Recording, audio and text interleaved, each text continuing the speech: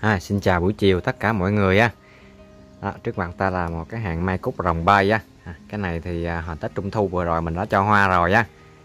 Đó, đây là đợt hoa lấy lại ngay Tết á, sau Tết à, một tháng á.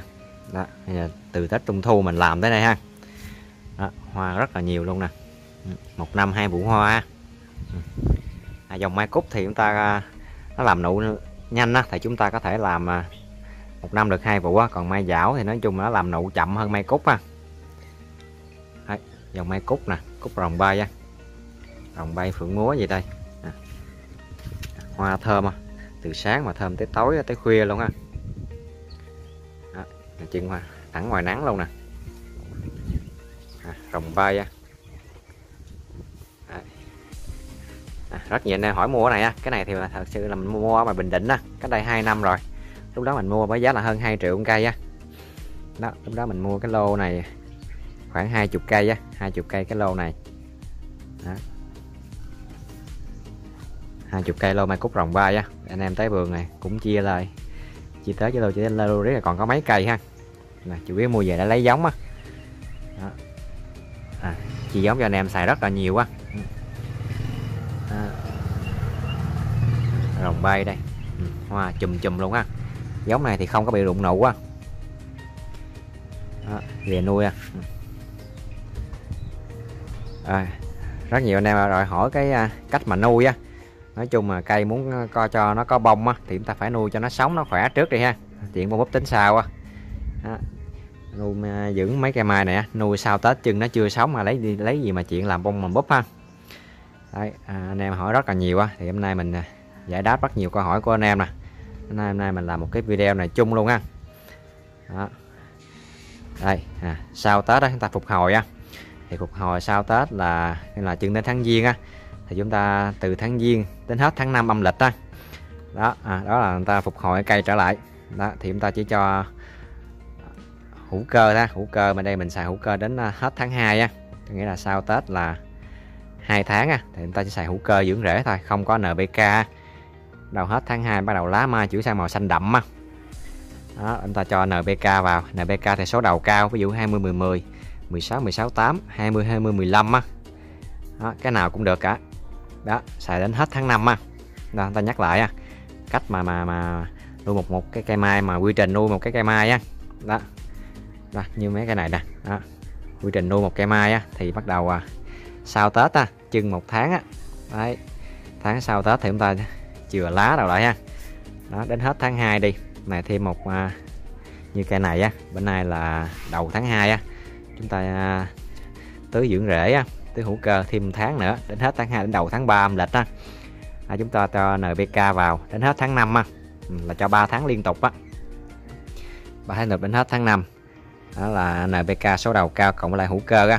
Nói chung mà cái này mình hướng dẫn cái cách làm mà tổng quát ra còn từng giai đoạn từng chi tiết thì mà ở vườn mình làm sao thì mình à, mình hướng dẫn chi tiết luôn á. Pha về phân liều lượng sao sao đầu đầy đủ hết á.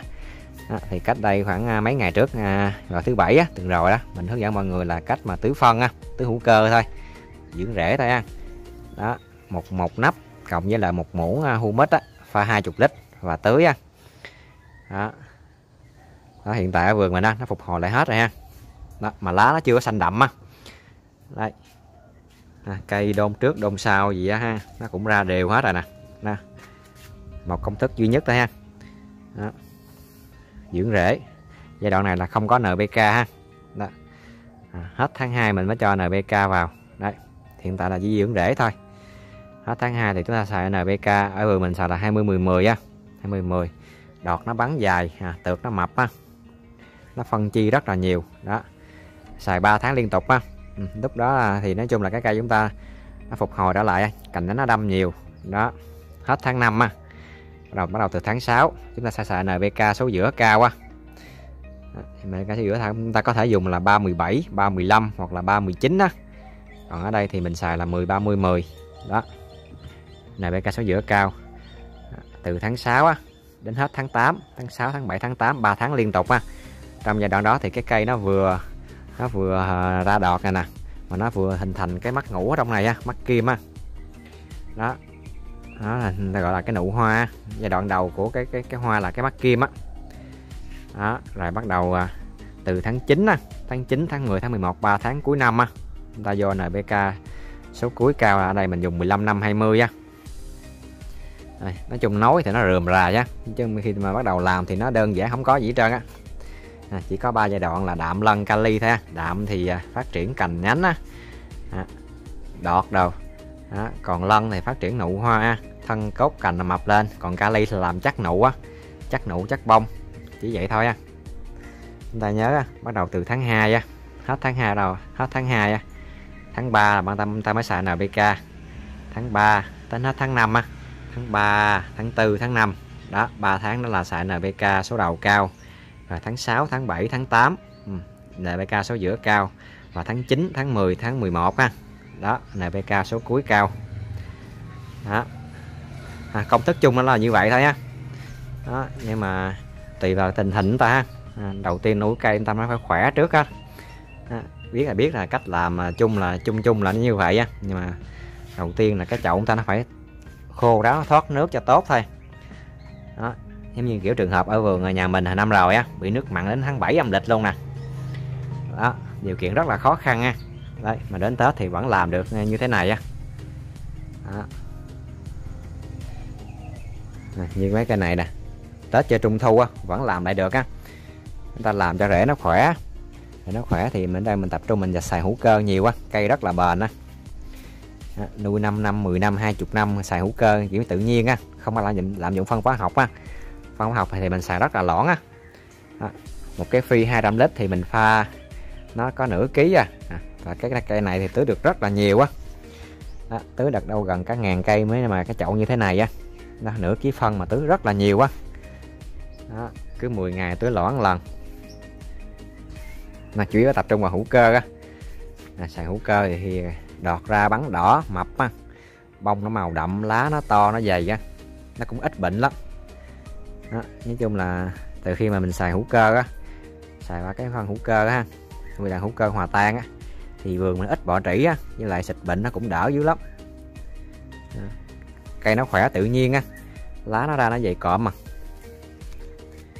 đó.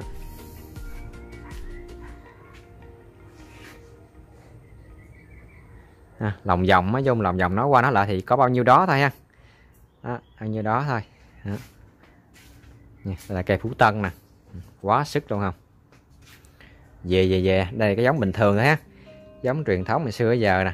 À, sau này có giống này giống kia. Mà giống kia nhìn một cái bông hoa thì thật là đẹp á nhưng mà do kỹ thuật chúng ta chăm sóc ha. Nói chung à, cái giống đẹp mà kỹ thuật chúng ta nuôi mà chúng ta bỏ quá hoặc là lạm dụng phân bón quá thì cây nó cũng không có bền á. Nuôi thì nó chết từ từ từ từ ra không có bền á. Hú tân nè. Như cây này nè hồi năm rồi nó rụng như mưa ha. Đó. À, bông màu đậm luôn à. bông bự ha. Này cái nếp mình cho mọi người xem cũng là cây phú tân á mình lặt lá hồi tháng 7 á rằm tháng 7 mình lặt. Thì hiện tại bây giờ thì nó nó làm nụ lại nè ha. Đó tháng 7 nói chung là tháng 7 tháng 8 á. Tháng 7 mình lặt lá thì tháng 8 thì lá nó mới ra ra nó mới già lại ha. Đó thì mình à, chỉ tưới cái thằng mà NPK số giữa cao nó được có tháng mấy à? Đó, rồi à, mình làm nụ tưới NPK số đầu 15 năm 20 á. Số đầu số đầu ra số cuối cao chung với lại mai mai Tết á. Ừ, thấy thì cái nụ nó không có ra chùm lắm á. Đó, đặc điểm có dùng NPK số giữa cao nè. Đây nụ á nó ra mỗi mắt mỗi mắt luôn này thấy chưa?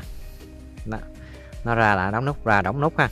Đó đó còn nếu chúng ta dùng NPK số đầu cao thì nó cũng có nụ á nhưng mà nó nụ thì nó lưa thưa đó, nụ nó thưa thưa chứ nó không có được mỗi mắt mỗi mắt như thế này á. Đó, này là tháng 7 á tháng 7 mình lặt lá trụi lũi tháng 8 nó ra. Rồi tháng 8 tháng 9 mình tưới à, tháng 8 tháng 9 à, mình tưới à, cái hàng siêu lân á. Coi như được có tháng mấy à. À, bắt đầu từ tháng 9 trở đi á, mình dùng 15 năm 20 để để nuôi nụ cho chắc luôn ha đó, khi mà chúng ta dùng 15 năm 20 thì cái cây này đọt nó sẽ đứng lại ha nó không có đứng đọt nó không có không thốn đọt nữa sẽ dồn lực. Dồn lực nó nuôi mấy cái nụ này ha. Đó, này nó lên chân nè anh em thấy không? À, hú tân ha. À, trên nó thưa nè anh em xem nè. Đó. À, cây bên đây á. Đó. Đó, nụ quá quá sức nụ luôn à. Ừ. mình để ý khi mà mai ghép mà chúng ta nuôi cái xương này nó mập á cọng nó mập thì bông nó bự lắm. Cái cọng này nó mập thì ờ, nhựa sống nó dồi dào á nhựa sống dồi dào thì bông nó bự thôi chứ không có gì á. Ừ, ghê hồn chưa? À, nhắc lại á nhắc lại mọi người á. Đấy sau tết 2 tháng á, là chúng ta chỉ xài cái dưỡng rễ thôi á đến hết à, tháng 2 âm lịch ha đó thì chỉ xài dưỡng rễ hữu cơ thôi không có xài NPK ha. Đấy rồi bắt đầu à, tháng 3 tháng 4 tháng 5 NPK số đầu cao. Tháng 6 tháng 7 tháng 8 NPK số giữa cao. Và tháng 9 tháng 10 tháng 11 NPK số cuối cao ha đó anh em cứ làm Iran như vậy đi ha. Đấy. À, dùng cách làm á anh em không có thời gian mà theo dõi à, thường á à, thì chỉ nhớ như vậy thôi ha đó coi như tháng 12 bỏ hai tháng đầu năm bỏ. Ừ, còn lại năm ta chia đều 3 tháng à. Đó, như là cái tháng à, tháng 12 bỏ ha. Rồi, tháng giêng tháng 2 bỏ. Đây mấy tháng đó thì chúng ta chỉ xài dưỡng rễ thôi. Đó, còn mấy tháng à, còn 9 tháng còn lại thì nhớ chia ra chia là đạm lân kali thôi ha. Ừ. Rồi, đó là cái công thức chung á công thức chung đây. Thì cây chúng ta nó muốn tốt thì cái phần à, nói chung là trong chậu này phải thông thoáng nó phải khô ráo ha. Đấy nó vừa ẩm độ ẩm nó vừa đủ thôi nó không có chèm nhẹp mà nó cũng không không có khô quá ha. Đó. Ha, thì trộn chất trồng ta trộn thêm vỏ trấu với lại cát ha, đây. Đây hàng năm rồi mình có rắc một lớp cát núi lên đây nè. Đây. À, thậm chí năm nay mình không cần thay phân nữa ha. À, rắc một lớp cát núi đây nè. Đây nó thấm xuống hết ha. Ừ, đất à, tưới nó, nó, nó nhanh ráo dữ lắm. Ừ, rễ nó to lên luôn ha. À, giống như người bình định á. Người bình định người miền trung người ta trồng bằng đất phù sa không à, à đất phù sa cát á. Nhiều khi ba bốn năm năm bảy năm người ta mới thay phân lần á. Mới thay chậu chứ cũng không thay phân nữa. Đó, người ta trồng cái chắc trồng á. Nó, nó khô ráo thoát nước tốt thì cây chúng ta nó khỏe. À, nó khỏe thì mà cây khỏe cây sống được thì mới tính tới chuyện làm bông á. À, mới tính nó chuyện áp dụng mấy công thức à, nuôi nụ nuôi đọt nuôi bông đâu còn cây không khỏe thì không khỏe thì không có không có tốt lành á, không có sống được thì lấy lấy gì cái chuyện mà bông búp ha Đó. nụ lên nè phê chưa? Cái này thấy nó nụ nơi quá trời á, nhưng mà nụ nó nuôi chưa có tới nụ chưa có chắc. Ừ, nó đơn đơn không à. Một hai một hai không à còn bên đây nè, nụ nụ nó nụ nó chắc tới nè.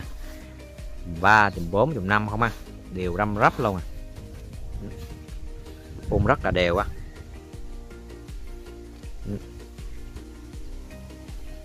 Rồi một vài chia sẻ với anh em á. Đây anh em nào à,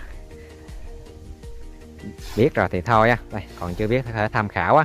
Anh em nào có cái kinh nghiệm là hay hơn á, thì có thể chia sẻ Đấy.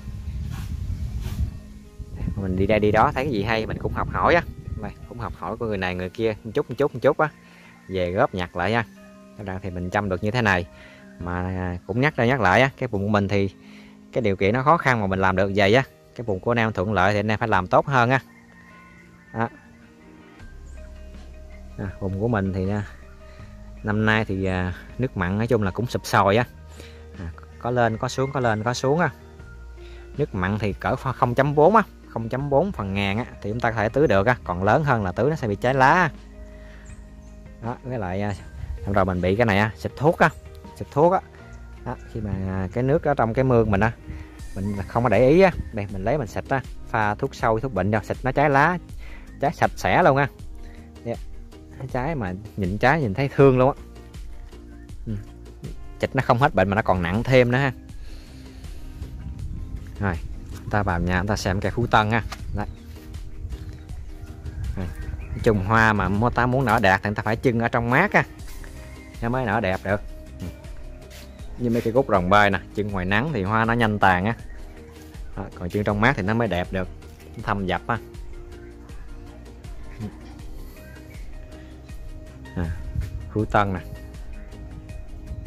À, thấy mê ly không? À, chung hoa nhìn hoài nhìn hoài không chán á cái phơm hoa nó tròn. Tròn như cái đồng tiền vậy tròn ấm mà ừ, hiện tại vẫn còn mùi thơm á cái nhị này còn là còn mùi thơm nè. Quá sức luôn à. Như cây bông giả nha. Cũng còn rất là nhiều nụ nè.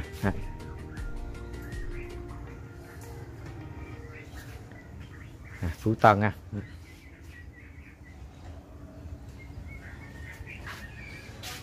Ừ, rất thơm á. Hiện tại là khoảng 3 giờ mấy chiều rồi đó. 3 giờ chiều vẫn còn thơm á. Ừ, cái cánh nó xếp rất là đẹp á. Tròn ủng như đồng tiền, màu đậm đà ha.